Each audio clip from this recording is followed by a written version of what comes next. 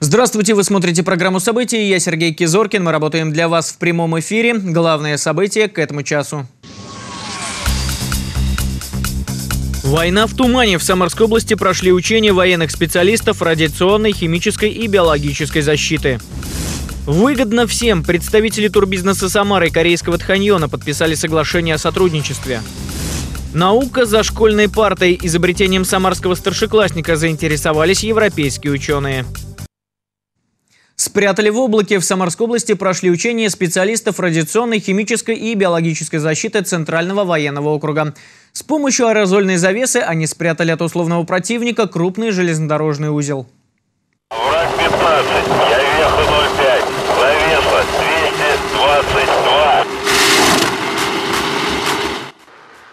Целью маневров стала маскировка важного объекта, рядом с которым готовились к маршу воинские эшелоны. Военные применили термодомовую аппаратуру, в том числе новейшую машину ТДА-3.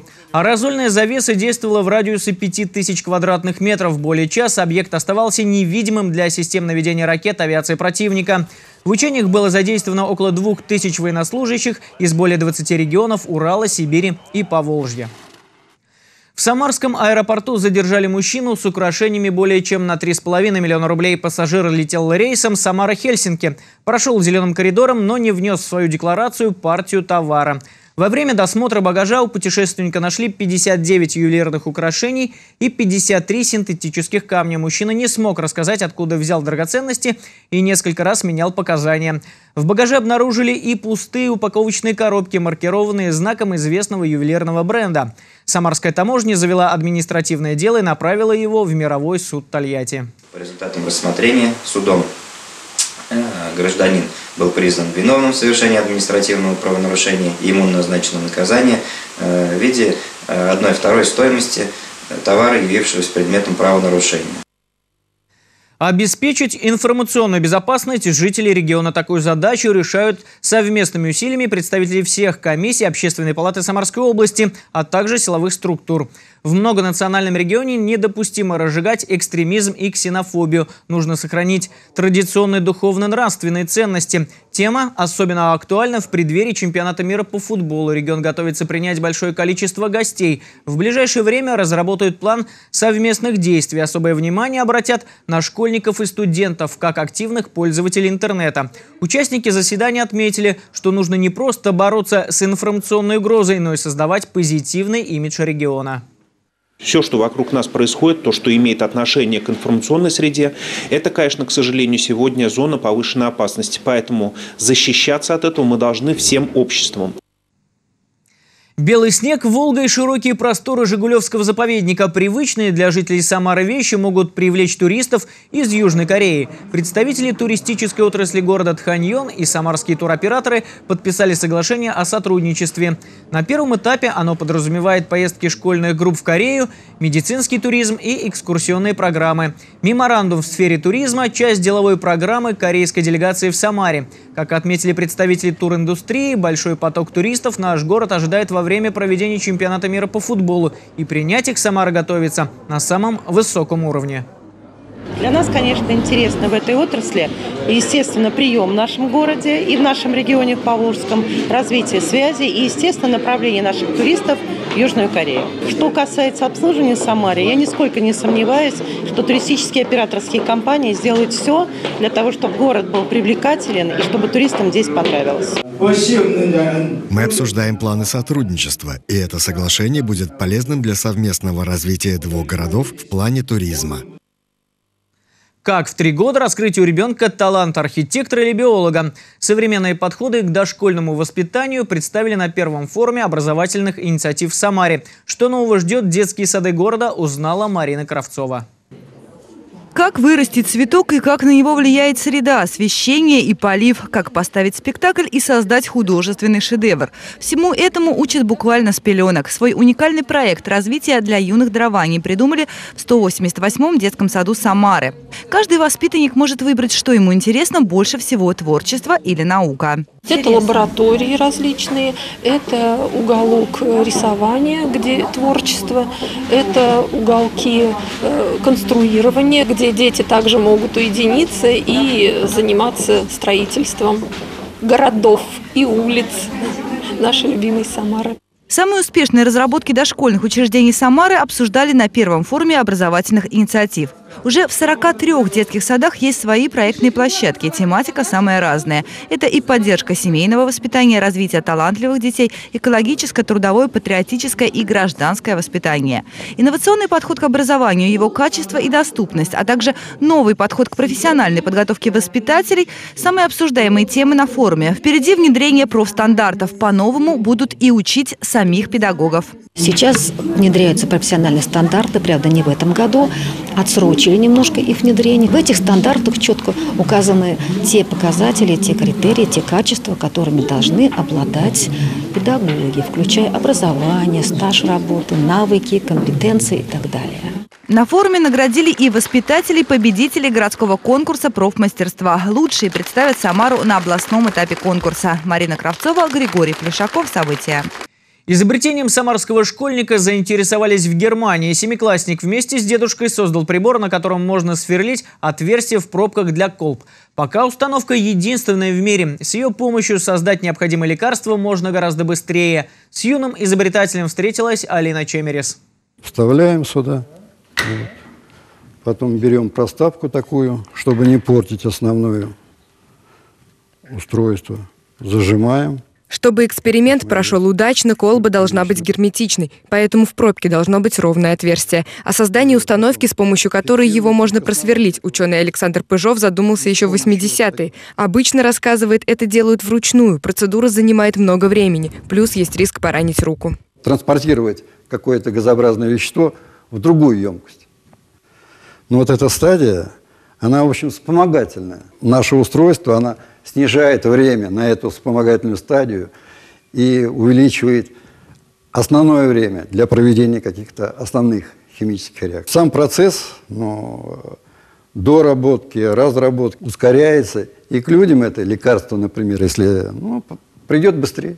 Сейчас, когда пробка плотно закреплена в устройстве, просверлить ее сможет даже ребенок, и отверстие получится нужного диаметра. В таком виде прибор появился только в прошлом году, и пока он единственный в своем роде. В создании незамысловатой установки ученому помогал первый соратник и верный товарищ, внук Илья. Когда мы сверлили, то ну, э, сразу выявляются всякие проблемы. Что, например, как э, сказал дедушка, э, просверливается дно и скользит она. Ну вот я предложил подставки и чтобы сменная дощечка была, чтобы не просверлить устройство. Семиклассник Илья Янов познает мир вместе с дедушкой. Вместе наблюдают солнечное затмение, изучают божьих коровок, путешествуют. По словам ученого, главное – развить в ребенке любознательность. Благодаря семейному увлечению наукой имя семиклассника уже значится в патенте, которым сразу же заинтересовались в Германии. Они готовы на найти предпринимателя, который взялся за производство этих устройств. А для этого э, мы должны это устройство запатентовать там. Сотрудничество ему готово, дороговато это стоит. Свою установку, которая пока единственная в мире, разработчики решили передать в дар 64-й школе, где учится юный изобретатель. За ним стоит э, мощная стена в виде семьи, в виде дедушки, который ему помогает. Ну и сам Илюша, он уже развивается в нужном направлении. Направлении физики. Сейчас он пишет новую работу по астрономии. Теперь Илья занимается разработкой защитного купола для лунной базы, где могли бы жить космонавты. Свой амбициозный проект юный ученый представит в этом году на научной конференции «Взлет», которую проводят специально для талантливой молодежи. Алина Чемерис, Константин Головин. События. Далее коротко о других событиях дня. В отношении самарской компании возбуждено административное дело за разлив соляной кислоты на сельхозземлях. ЧП произошло в Камышлинском районе неподалеку от села Новое Усманово. Региональный Россельхознадзор проводит расследование.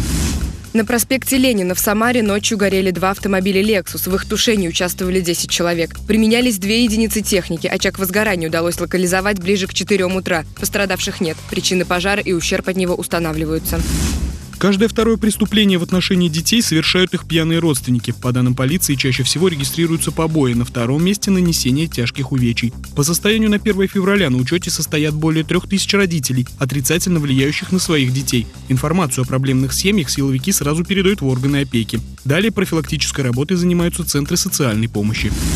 В Самаре открывается испанский визовый центр. Ранее для получения визы необходимо было обращаться в посольство страны в Москве или генконсульство в Санкт-Петербурге. Визы в Испанию в Самаре перестали выдавать с 11 октября прошлого года. И вот Генеральное консульство Испании сообщило об открытии визового центра. Он появится по адресу улица Партизанская, 86. Открытие намечено на 3 марта.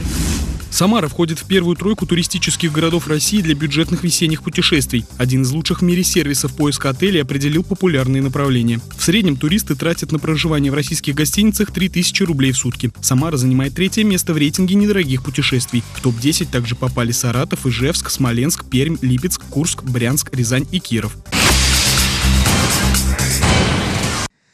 Почему Максим Горький говорил, что родился в Самаре и какие впечатления от города остались у Алексея Толстого? О двух классиках русской литературы говорили на лекции в «Самарской газете». Историко-краеведческий проект, который стал своеобразной образовательной площадкой, завершился, но редакция газеты готовит новый сюрприз для жителей Самары. Какой? Узнала Марина Кравцова. Телом я родился в Нижнем Новгороде, духовно в Казани, а как писатель в Самаре, говорил Максим Горький. В начале творческого пути он работал в «Самарской газете», в том числе писал фильетоны. Связано это как раз тоже вот с его работой филитонистом, как это ни странно. На самом деле работа эта ему не нравилась, потому что работа филитониста связана все-таки с вниманием к каким-то негативным сторонам жизни, но при этом он научился видеть жизнь по-настоящему, то есть он научился ее анализировать. Биографии двух классиков русской литературы Максима Горького и Алексея Толстого связаны с Самарой. В каких произведениях можно найти упоминания о городе и какие издания Самары до сих пор хранят память о литераторах, рассказали в лектории «Самарской газеты». Смотр таких вот местных краеведов, писателей, историков – это редкий случай ну, получить как бы маленькое второе образование, вот буквально. Эта лекция стала заключительной в историко-краеведческом цикле, но впереди жителей Самары ждет новый увлекательный проект – экологический лекторий, который начнут примерно через полтора месяца. В планах рассказ об уникальной природе Самарского края на пленэре. Марина Кравцова, Василий Колдашов. События. А вот о каких событиях мои коллеги расскажут в следующих выпусках. Генеральная уборка Самары. Как пройдет общегородской субботник в этом году. Умный дом. Многоэтажки капитально ремонтируют по последнему слову техники. От чистого сердца областному кардиодиспансеру подарили портативный УЗИ-сканер. На этом наш выпуск завершен. Благополучия всем. Увидимся.